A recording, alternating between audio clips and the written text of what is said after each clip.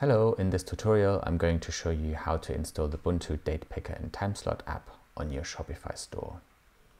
This is specifically for the new 2.0 stores which allow for theme app extensions.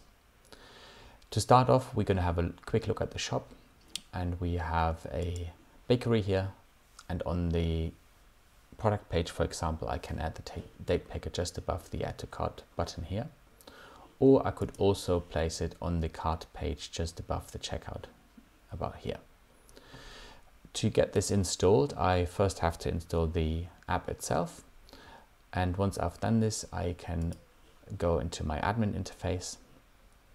And in the widget placement here, I see this little box here to enable the theme extension.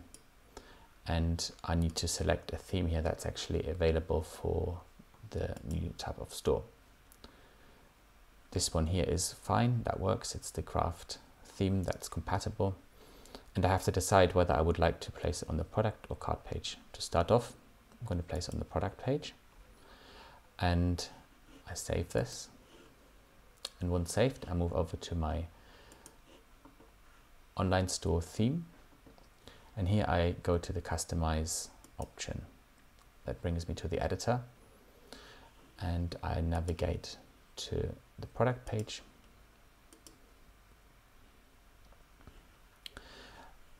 And in this instance, I already have the date picker here a previous install, but I'm going to remove it. So this is what you're going to see. And if you would like to add the date picker now, you go to, you select this box and right here on the left hand side, you can add block. And in the bottom, you see the date picker app if you press that it will automatically add it at the bottom of the section. And if you would like to select the date just before the add to cart you just move it up here above the buy button and it will move it just over there. So your customers can pick the date and then add to cart and then they will go to the checkout. If I'm saving this I'm going to have a look at my shop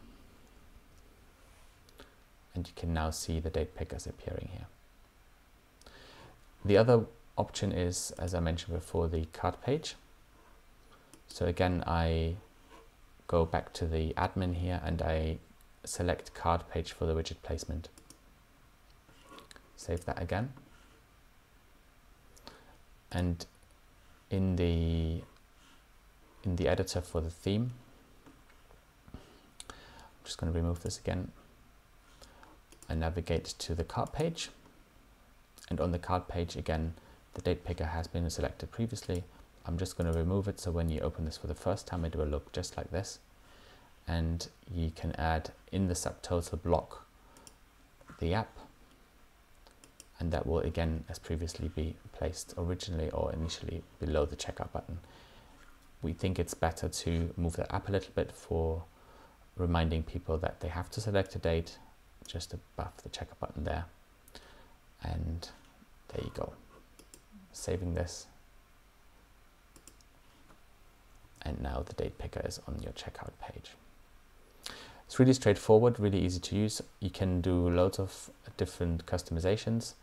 In the date picker settings, you can also find a CSS um, adjustment here, whether you would like to have a full screen one, a full width one, or perhaps align it differently. And you can also change the size and the look of the settings. So in widget settings, you can find different versions. For example, the calendar uh, or just a drop down of available dates. That's also possible.